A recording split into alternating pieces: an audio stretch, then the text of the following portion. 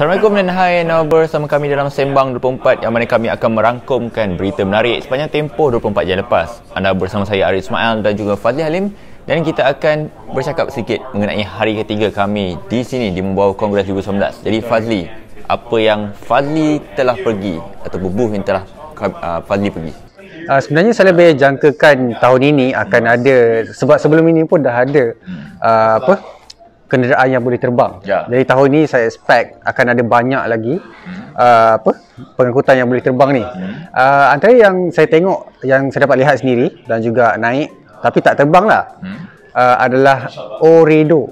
Oredo. Uh, syarikat daripada Oredo. Telco. Uh, dia collaborate dengan telco yang uh, ada 5G connection. Hmm. Jadi itu yang mereka utamakan sebab uh, Oredo ni basically uh, vehicle yang dia buat vehicle yang apa dia uh, berasal daripada Doha juga hmm. uh, dia buat vehicle yang ada connection 5G hmm. uh, boleh akan ikut dua orang hmm. dan juga binaan vehicle tu daripada carbon fiber dan mempunyai 8 bilah kipas kalau tak silap uh, 8 kali 8 hmm. uh, uh, kemudian saya dapat lihat juga uh, dia pada waktu inya dipamerkan uh, dekat sini uh, masih lagi tak dapat terbang hmm. dan ini adalah demo sahaja. Demo sahaja. Jadi adakah ia akan mengangkut uh, manusia ataupun barang sahaja? Uh, mengikut apa yang diberitahu oleh mereka adalah uh, pengangkutan ini hanya boleh angkut dua, uh, dua orang sahaja. Dua orang. Kira macam teksi untuk kegunaan udara? Dia macam dia macam train juga. Macam dia train. dia ada tempat dia yang dia boleh pergi. Dia tak ha. ada macam spesifik tempat yang uh, contohnya macam Ari nak pergi ke Bukit Bintang dan mahu berhenti dekat sini tak boleh. Oh. Dia dah dah tetapkan okey spot ni dia boleh berhenti, spot ni dia boleh berhenti. Dia tak boleh uh, dia tak spesifik dan juga fleksibel macam uh, kereta biasa. Dia dah setkan perjalanan tu lah. Ya betul. Dia akan anda boleh memilihnya menggunakan aplikasi yang dibekalkan oleh mereka dan akan ada satu uh, tablet yang besar. Dan jika berlaku sebarang kecemasan contohnya dia akan ada satu mode untuk mendarat secara emergency. Tetapi uh, mereka tak menyatakan sama ada drone itu ataupun kenderaan terbang tu uh, akan terapau jika mendarat di atas saya. Saya ada bertanyakan benda itu kepada mereka tapi mereka kata ini masih lagi fasa percubaan dan mereka pun tidak uh, memberitahu berapa lama ataupun berapa kilometer ini boleh mengangkut uh, manusia ataupun tak. Sebab satu ujian yang mereka buat hmm. uh, di Arab Saudi tak silap saya dia tidak mempunyai sebarang ataupun tak ada penumpang langsung semasa percubaan itu dibuat sebab ini sangat berisiko kan. Benda terbang besar tinggi pula tu.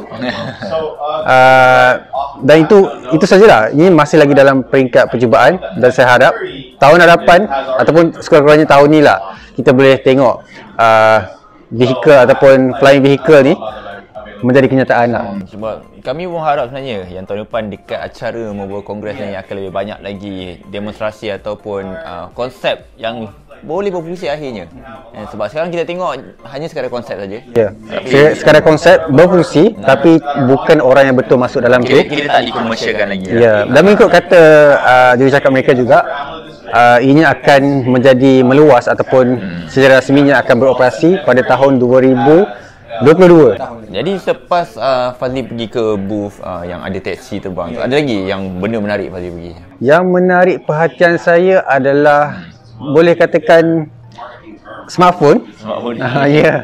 Tapi jenis rating. Walaupun uh, pada masa sekarang kan, semua IP rating yang digunakan pada masa sekarang adalah IP68 dan juga 67. Uh, IP rating yang saya akan cakapkan ni bukan hmm. akan mengubah rating sebenarnya. Tapi mengubah cara uh, pengeluar ataupun contohnya macam Nokia ke iPhone ke mengubah cara mereka uh, kalis airkan telefon tu ya. sebab sekarang mereka meletakkan satu adhesif ataupun uh, getah untuk melindungi uh, komponen dalam masa sebuah peranti hmm. Dan benda ni ada kelemahan getah ni iaitu uh, lama-lama dia akan keras dan mudah masuk air.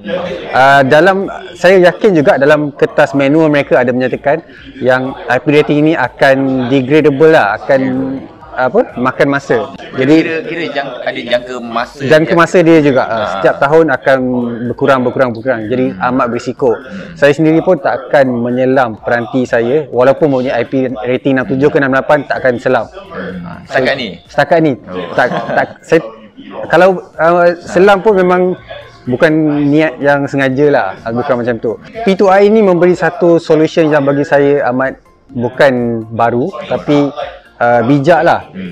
Sebelum ni dah ada satu coating untuk melindungi PCB dan benda tu tak digunakan secara meluas. Kali ini uh, P2I ni syarikat P2I ni dah pun tunjukkan kepada kita dan uh, cara nak buat dan sebagainya mereka kata perlukan satu chamber untuk uh, letakkan coating ni. Bukan mudah ya. Dan mereka telah pun menitikkan air di atas PCB depan mata saya uh, dan saya dapat lihat sekali uh, peranti tersebut dapat berfungsi dengan baik. Dan antara kelebihan P2I ni adalah ia dapat bertahan selama mungkin. Selama sebab uh, sekarang kalau gunakan getah hanya dapat bertahan dalam masa 1 jam 30 minit 2 jam uh, 2 jam setengah dan sebagainya itu adalah uh, rating yang ada pada masa sekarang.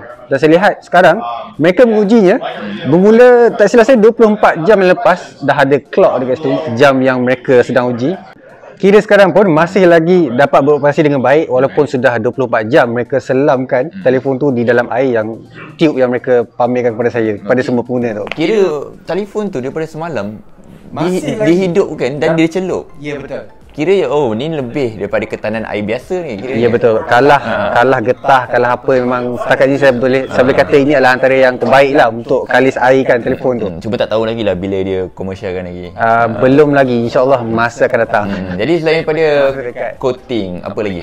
Fazli pergi. Uh, rasanya itu sahaja dahulu kot. Uh, kalau nak explore lagi mungkin uh, masa esok pagi kami akan explore. Okey, macam saya hari ni memang agak pack lah sebab kita nak banyakkan apa rakam video apa semua. Jadi hari ni saya sempat lah berkesempatan untuk pergi ke TCL. Ya. Ke booth TCL. Kat situ kita tengok banyak konsep uh, peranti boleh lipat sebenarnya daripada TCL.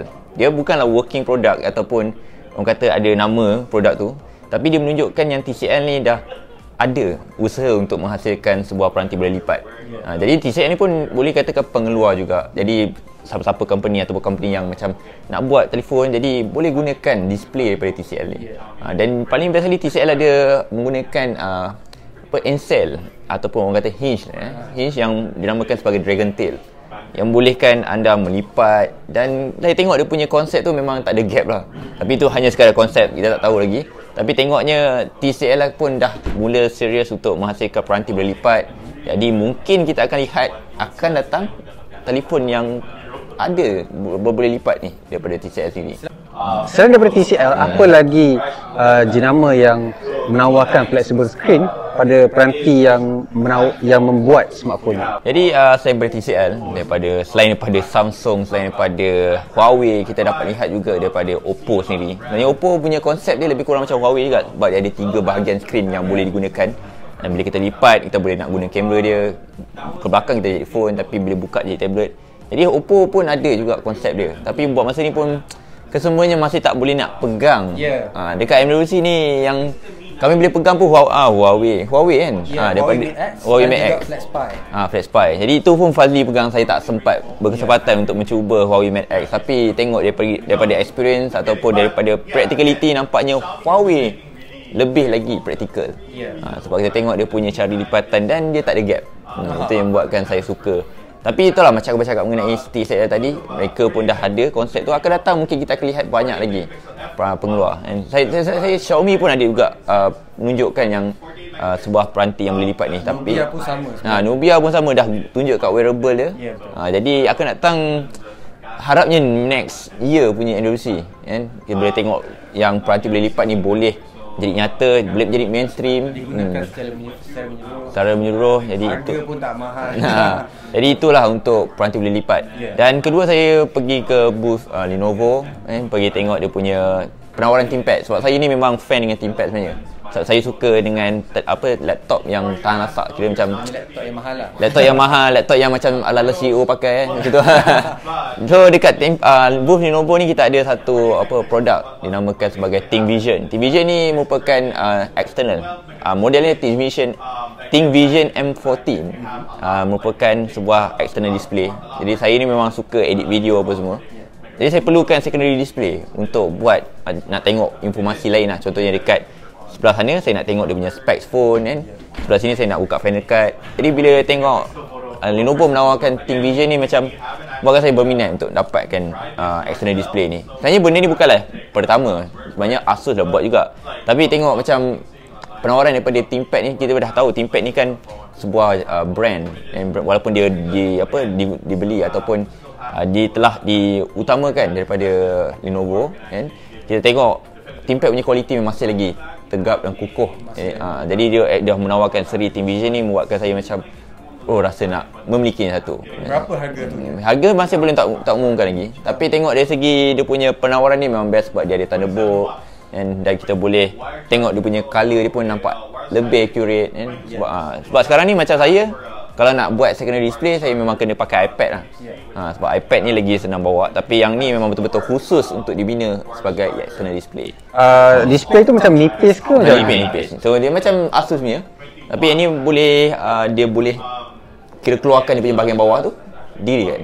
Nah, Okey, rasanya macam uh, satu peranti satu laptop tu dahulu tak silap saya Razer something. Hmm, tapi yang ni dia luar, dia dia tak include dalam tu lah. Oh, okey, dia nak sekalikan. ya, yang ni, yang ni, yang ni kira aksesori Think Vision ni. Ha, jadi itulah antara apa yang saya pergi lah tadi kan? Sebab yang lain banyaknya telefon. Sebab telefon pun telefon yang macam murah sebab saya suka review telefon murah.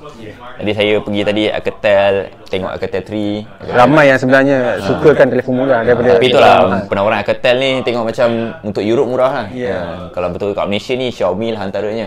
Ha, tapi tadi banyak saya cover bahagian Alcatel eh.